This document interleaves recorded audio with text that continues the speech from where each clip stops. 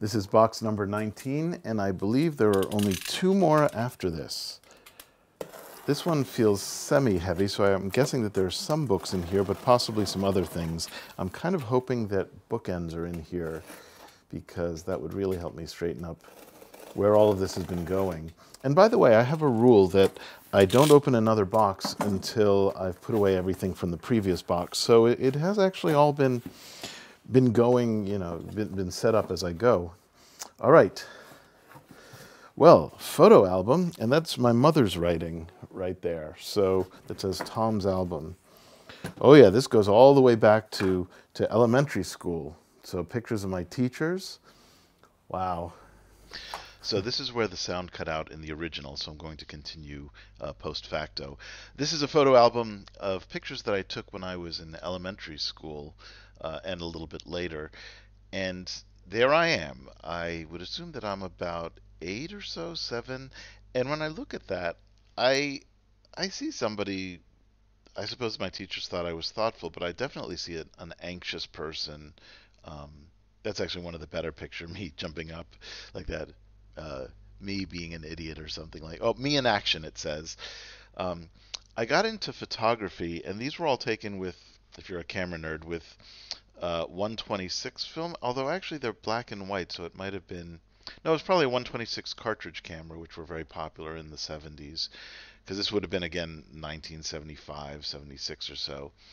And you know, I think these were these were good pictures. They showed composition and interest, and you know, I I always did have a pretty good eye, and I was doing experiments like what we see here, is uh, I had these sheets of aluminum I got from the hardware store, and I shined colored lights on them just to get the get the effect.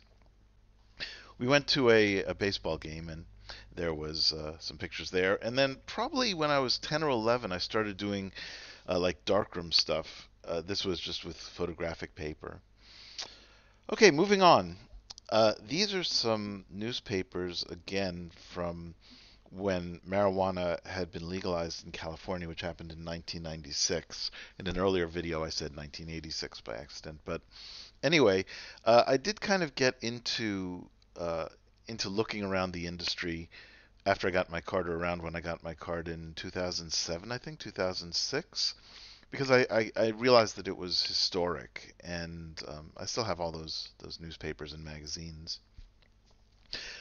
Uh, and in fact, you might have seen something about Oaksterdam, and I picked this up during the age of Oaksterdam, which was uh, Oakland, California, trying to start a, a marijuana district in downtown. Uh, and I, I, visited a few shops, and it was fun.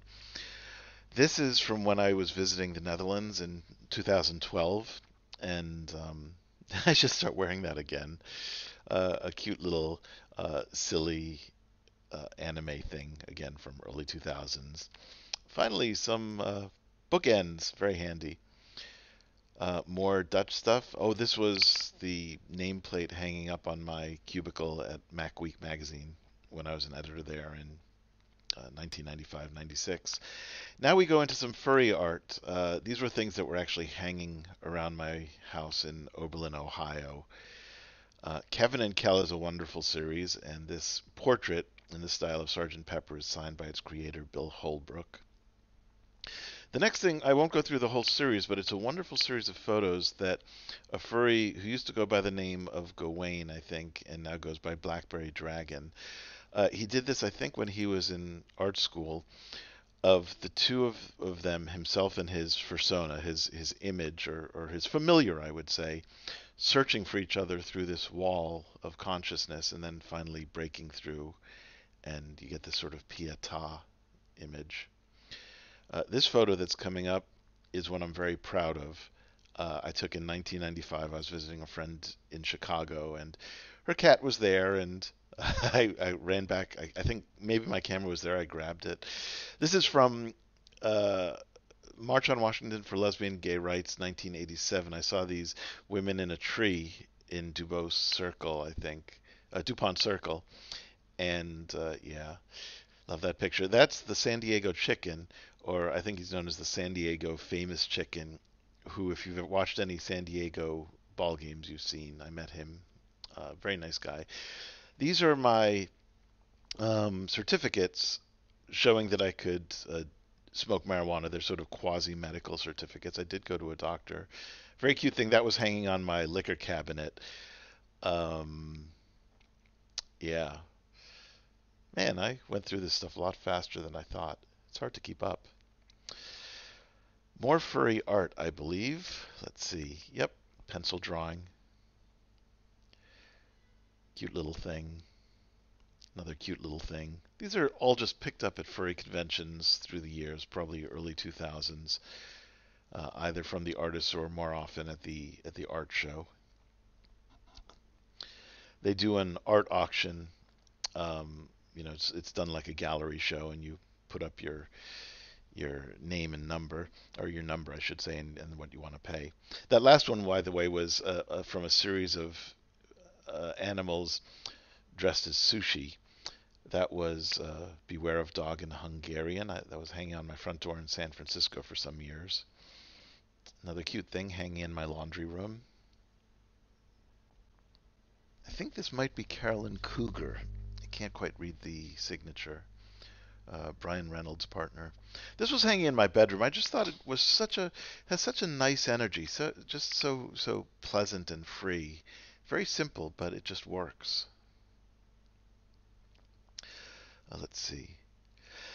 I like this because uh, it's probably like a two dollar sketch, just a little pencil sketch, but you know, framed and matted. It it it's cute. You know, it it really does liven up the room. Uh, my my brother and myself, I'm on the left there. Probably I was 11, he was 14 or thereabout. Um, some coasters, little things from the Stonewall Inn in New York City. Uh, an old ruler from the Christopher Dairy Farm in San Francisco, back when there were dairy farms in San Francisco. Um, let's see. And I think it might have been by Christopher. Well, well never mind. Uh, more cute stuff. This is a printing plate for some music. I don't remember where I picked it up. I just thought it was interesting. Someone framed it, not me. More cute stuff. Those little things above the cat's head that uh, it's dreaming of are actually little charms, so they're three dimensional. And then finally, a little book of musical terms, a dictionary. That's it.